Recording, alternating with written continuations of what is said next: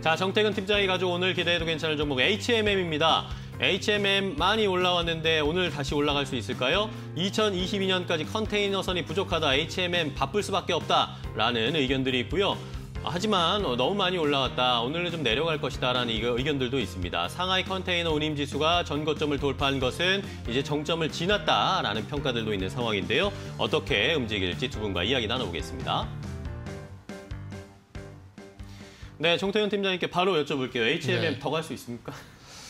일단 지금 분위기는 더 이끌 것 같아요. 그 개인적으로 어, 일단 좋은 얘기부터 하겠습니다. 네.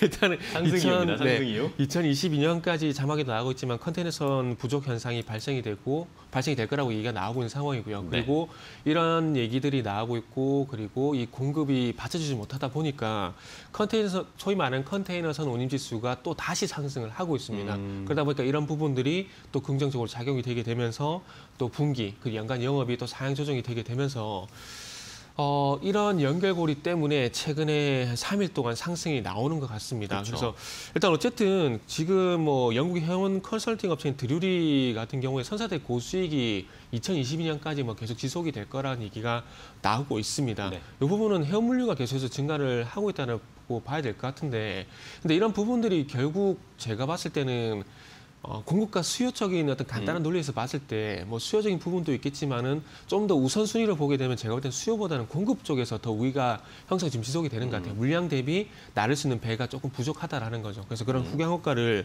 좀 보고 있다 봐야 될 것 같은데 그러다 보니까 어쨌든 미주 노선이란지 유럽 노선이란지 이쪽으로 계속 물류가 이제 이동이 돼야 되는데 이 이동하기 위해서 아무래도 공급이 조금 부족하다 보니까 소위 말하는 어, 즉, 운임이 상승을 하고 때문에 운반 가격이 상승을 한다라는 거죠. 만약에 수요 대비 그 배가 더 많다라면은 너무나 당연히지만 운임이 하락하겠지만은 음. 지금은 어쨌든 수요가 어 공급 대비 좀 우위에 있는 상황이다 보니까 운임수가 계속 상승을 하고 있습니다. 그래서 어 1월 달에 그 소위 말하는 SCFI 이 지수가 2,885를 찍 고점을 찍고 이게 좀 조정을 보였습니다. 조정을 보이다가 지금 화면을 보신 바와 같이 최근에 3월 달, 4월 달 와서 다시 이 컨테이너 운임지수가 전고점 쪽으로 바짝 다가서고 있다라는 거죠. 그래서 이 운임지수가 상승을 하다 보니까 다시 HM의 주가가 좀 현재 상승을 하고 있는 부분들이고요. 그리고 이 네. 운임지수가 상승을 하다 보니까 또 기존의 실적 가이던스가 좀 더 상향되는 흐름이 나오고 있습니다.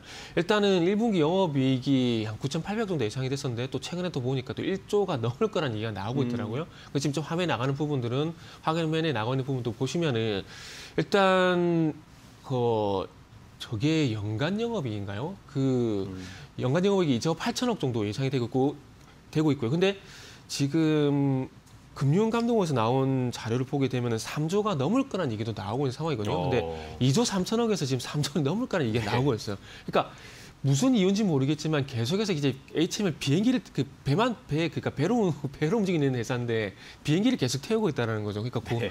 이러다가 저기 달이 아니라 화성까지 보낼 그런 분위기인데 어쨌든 좋은 얘기가 계속해서 나오고 있다는 겁니다. 그러다 보니까 다시 이제 전고점을 돌파를 전고점 부분을 다 바짝 다가섰고요. 그리고 최근에 주, 소위 주식시장에서 가는 종목들만 이제 가는 현상이 좀 발생되고 있는데 코스피 쪽 같은 경우는 실적이 좋은 업종들만 계속 움직이고 있어요. 어제를 예를 들게 되면은 건설이란지 보험이란지 해운업종 음. 이 업종들의 공통점이 결국 실적이거든요.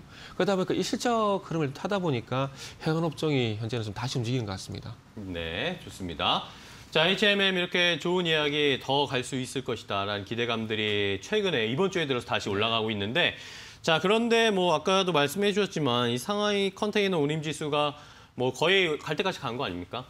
그렇죠. 어, 운임 지수가 지금 분위기로는 우상향이 될 것 같고 그리고 HMM이 상하이 그 뭐지 상하이 컨테이너 운임지수가 지금 동조 현상을 보이게 되면서 주가하고 이 운임지수가 거의 똑같이 움직여요. 네, 네. 그러다 보니까 어, 지금 3만 원대에서 매수하신 분이 아니고 지금 관심을 가지시는 분들 같은 경우에는 꼭 이 상하이 컨테이너 운임지수가 전거점을 돌파하는 부분들을 확인하고 갈 수밖에 없을 것 같아요. 네. 그렇기 때문에 이 부분을 좀 확인하시라는 말씀 좀 드리고 싶네요. 네, 좋습니다.